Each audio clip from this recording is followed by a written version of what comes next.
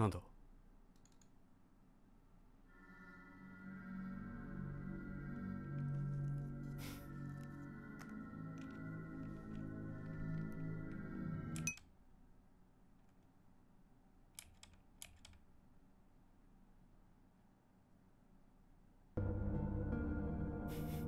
ここでビビってたなそういやよ。誰かいる？河川？え？今なんでそんなこと言ったんだろう？河川すごく聞いたことあるような。どうしてだろう？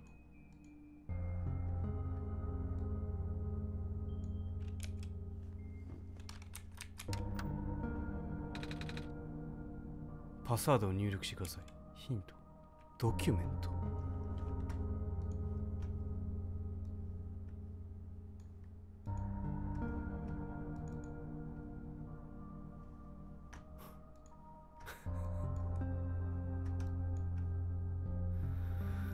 制限を突破しようだな。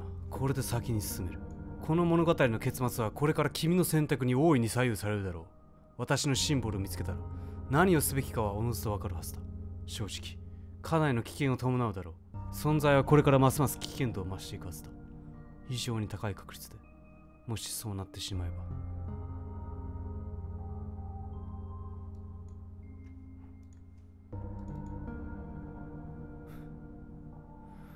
私のこのざまを見てくれ。君に散々頼み事をしてでも最後には押し気づいて。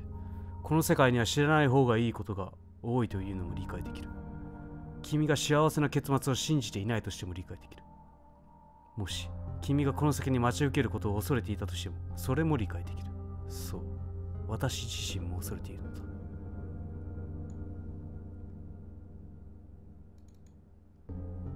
君が今のままの今のままの世界に満足していてこの結末にも不満がなくて良くも悪くもいかなる変化も望まないのであれば何も見なかったことにすればいい。いつもと同じように続けたまえ。見慣れないものに関しては私の日記を利用してはいけない。だが選択肢はいつでも残されているぞ。それが私が君によく考えるよう懇願している理由なのだ。救世主。この世界。我が子供たち。彼らは皆より良い結末を迎える権利があるのだ。聞いてくれてありがとう。さようなら。文字が書いてある。紙のページの端っこに。これを打っていこう。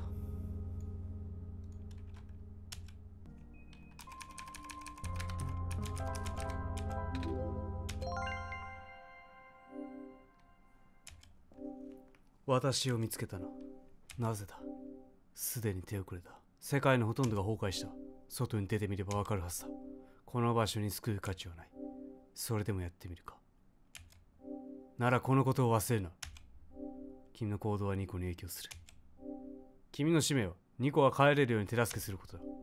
そして最も重要なことは。ちょっと待て。何かおかしいぞ。河川。私たちは以前同じやり取りをしなかったか？いやそんなこと不可能なはずだ。チャンスは一時それが終わった後私は存在しないはず。ニコはドアが解錠されると聞いた。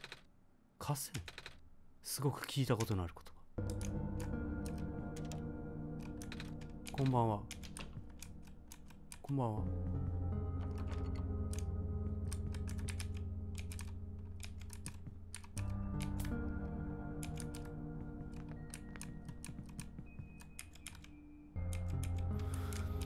なるほど。同じことをしてみるか。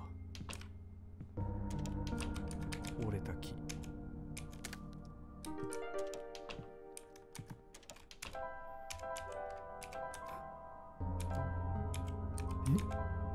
なぜもう日記を持ってる？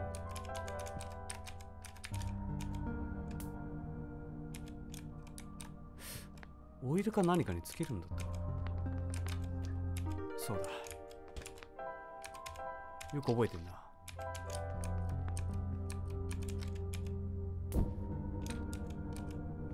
これで火をつけると。よし鍵だ。あるはずなんだ。ここに太陽が。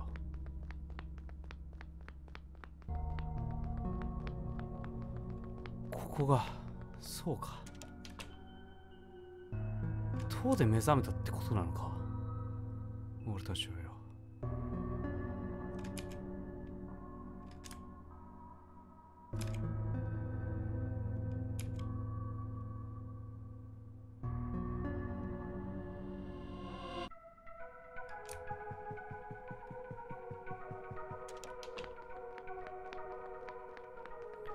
太陽だ。電球。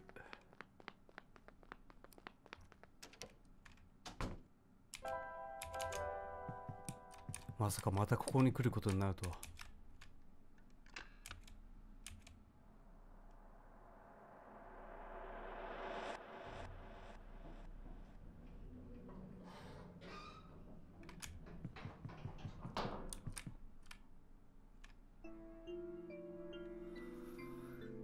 そうだ？ここ見んのも1回目以来か。ああその電気はいらっしゃるんですねえ？そうです私たちの世界へようこそあなた様にお会いできて大変光栄でございますえっとありがとうごめん。マイクなんだ。なるほど。では、いくつかご説明いたしましょう。まず、どうやってここに来られたかお聞きしてもよくわからない。目覚めたんだ。変な家ですごく暗かった。なんと。では見られない暗い場所でお目覚めになられたと。うん。私の予言通りです。あなた様こそが私たちが待ち望んだ救世主でございます。あなた様がこの世界を永遠の暗闇からお救いになるのです。ぐるり、えー、っと、これより重要な情報をお伝えいたします。何でも聞きください。えー、っと、じゃあ何から聞こうかな、河川について。あの家で目が覚めた時、どうしてかわからないけど知らない名前を呼んだんだ。河川。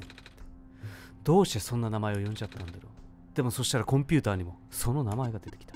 ああそれは私たちの神様のことでございます。ああそっか。えっとあれ？もうちょっと何か思い出すと。そうなんですか？しかしお待ちください。あなた様はこの世界にいらっしゃばかりでは。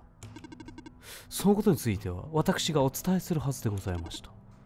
どうしてご存知だったんでしょう？勝手に頭に思い浮かんできたそうですか。ということは、河川とはすでに接触されたんですか？うん。えっと、目を閉じて集中したらいいんでしょ？あの河川？神様？変なこと聞くけど、えっと、前に会ったことある？あれよ。やっぱり。でも神様のこと全然知らないんだ。ただすごく変な感じがするの。はあ、みーの頭がおかしくなっちゃったんだね。きっと。ごめんなさい。でも、会えて嬉しいよ、カセン。ミーの名前はニコって言うんだ。今、カセンとお話ししてきてやっと。遠慮せず河川に助けをおとお求めください。あなた様は救世主なんですから。うん。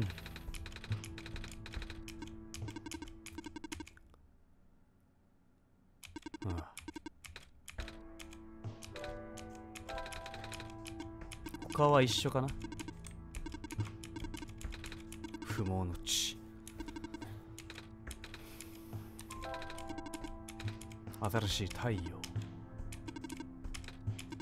この世界はまだ危険にさらされている。この世界に潮に受けることそうだったね。うん。よし。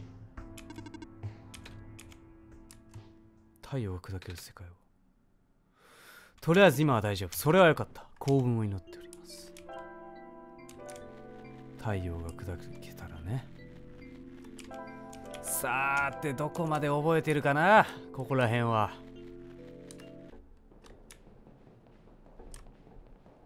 ここで電球を割ろうとして怒られた記憶がある。ここに何かを挟んで潰すんだったが、今はまだ持ってないな。あとはガスマスクか。まあ、シャネトルがあるとします。あと問題は、どこにクローバーが出てくるか。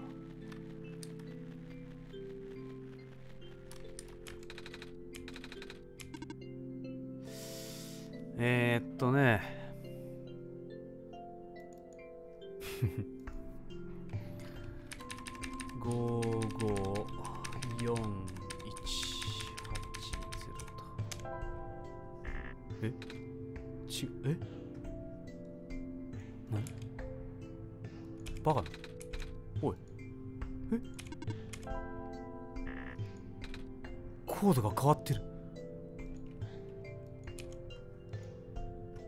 コードが変わってるだろ。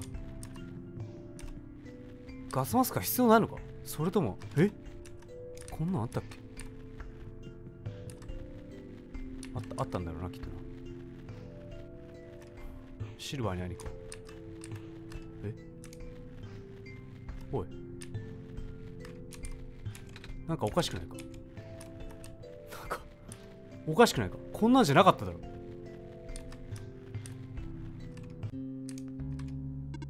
その電球。あなたは救世主なの。そう言われたよ。もっと背の高い人を想像してた。一緒だな。ここは。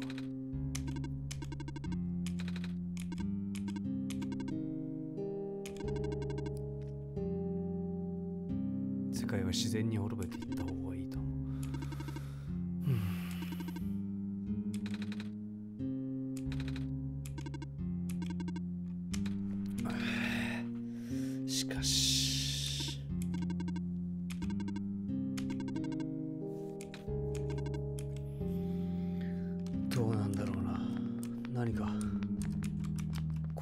なかった気がするんだろう。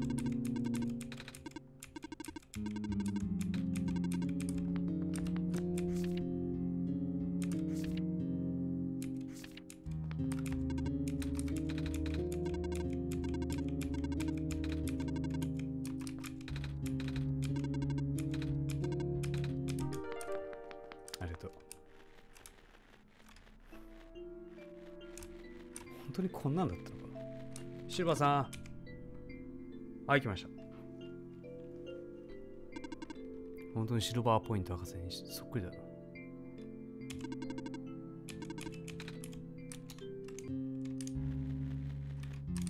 これだ。カメラの残骸。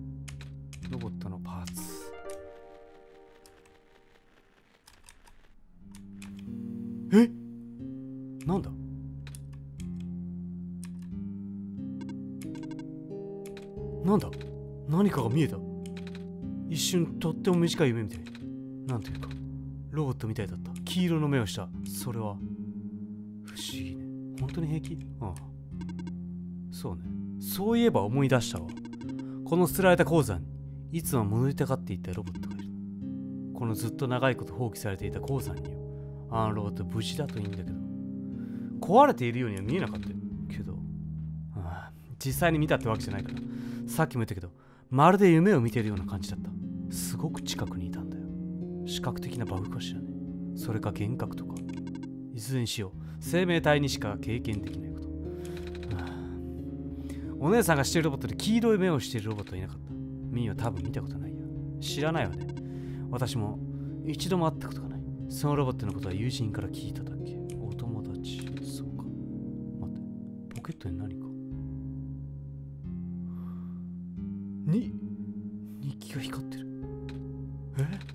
今まで光ってなかったのに。これ何なの？私もちょうど聞こうと思ってた。その本どこで手に入れたの？えっと確か家で目覚めた時。かその時はあまり気にしなかった。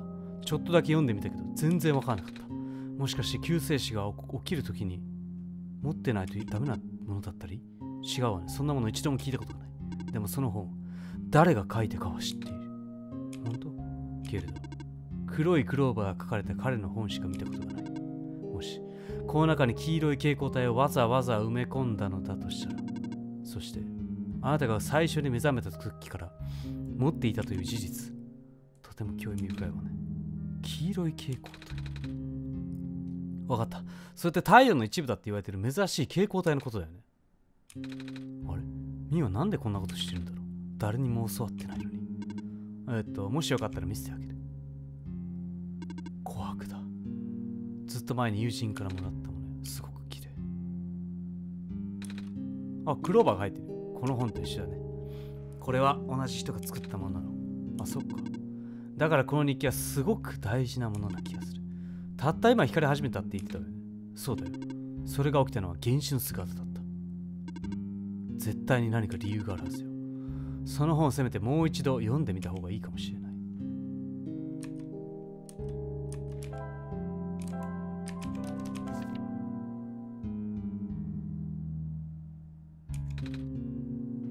ページがあったよ。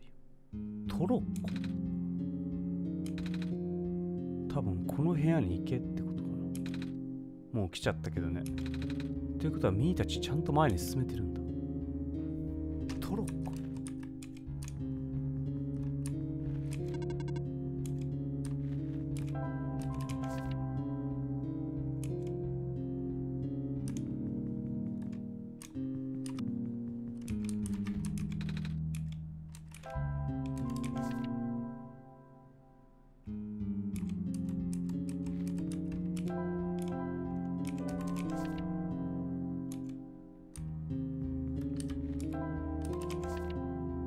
重なった。ここだ。あっ。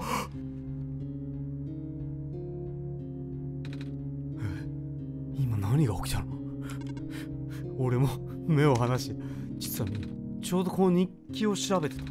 そしてこの部屋にそっくりな絵のページを見つけてパッと顔を上げたらコントロックが何もないところから急に。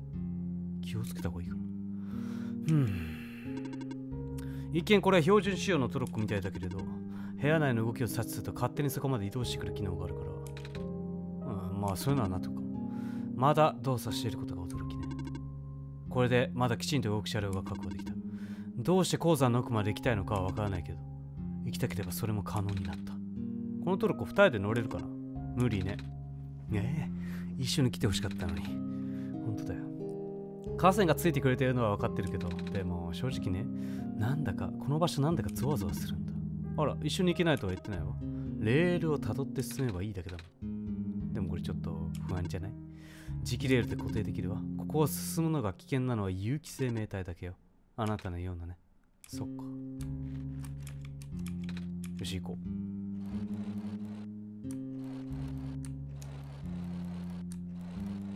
ついてきてる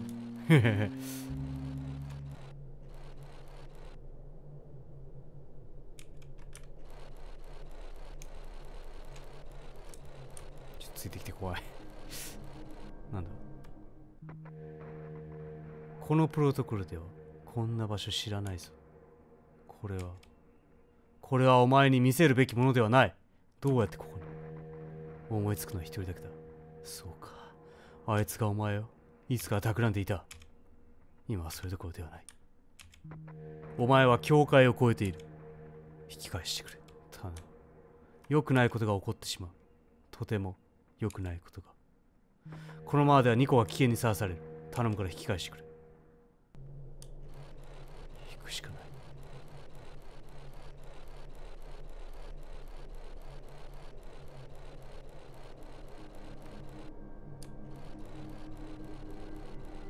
何が待ってるんだ？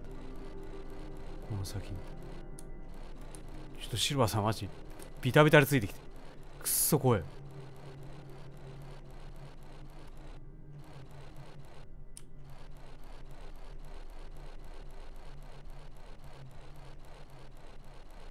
ここ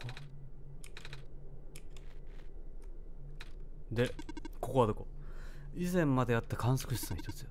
ここはまだそこまで被害がないよねは？え？どうしたターミナルが再起動した。でも電力はずっと前に叩いたはずじゃ。不思議だね。もしかしたら電池で動いてるのか？いいえ違う。とにかく調査しなきゃ。分かった。少しの間一人ぼっちにしてしまうけど平気？心配しないで。ガスネがついてるから。分かった。気をつけてね。何かのコンピュータパワーセルかあ横に予言者ロボって書いてるよ。前は気づかなかったな。こいつは？さっきの。その光。